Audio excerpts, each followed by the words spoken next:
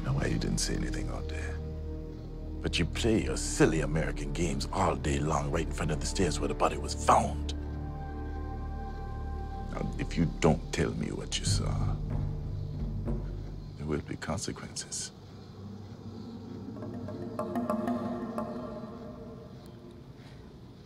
Well, I, I saw one person go into the stairwell. And then maybe a minute later, I heard an argument. Who did you see? So after we tie the cord off, we dig out the bar, pop open the grate, and we're, and we're down, right, Michael? Does anyone right? want to say anything about what we just saw out there? What is there to say? Well, for starters, an hour ago you say maybe we should kill someone, and then someone gets killed. I didn't say that, and this is exactly what we should be focusing on right now. Let's spend a couple of hours worrying about another dead body in this hellhole. What do you want? What are you doing? The trial wants, yeah. I don't have information. He doesn't want information. He wants a confession.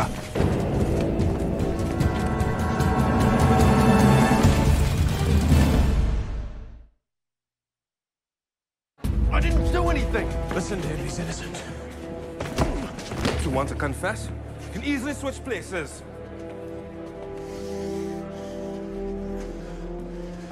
Maybe now we should start worrying about who the real killer is, huh? Yeah.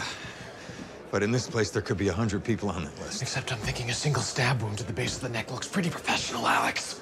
I was in visitation, Kojak, and what makes you so sure that Whistler didn't do it?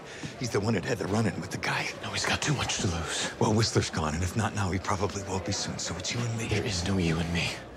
We're not leaving here without him. Two hours, I'm going out that window and through that fence. Oh, yeah? Yeah, that's right. Where are you gonna go to, Alex? Anywhere but here. There's only one road out. And the jungle's patrolled by police 24-7, so again, where are you gonna go, Alex? 313. I'm gone.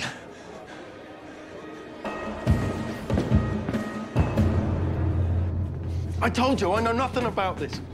I shouldn't. You should. I shouldn't be here. I can promise you, I, I did not kill that man. Someone saw you go down the staircase. Stag, is there any other proof? My men will find something. Well, do you see a weapon on me?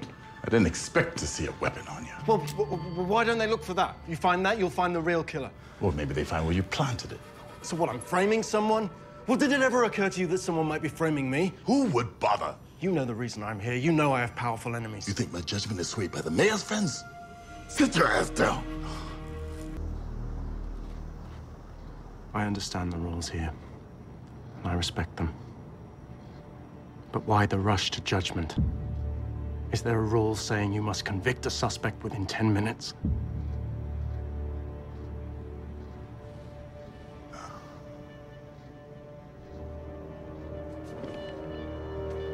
We have all the time in the world.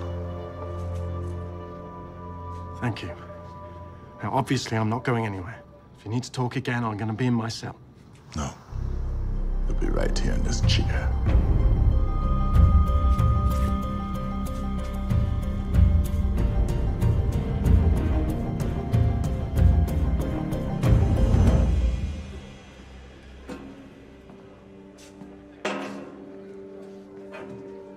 What the hell do you want? I don't like you. I certainly don't respect you.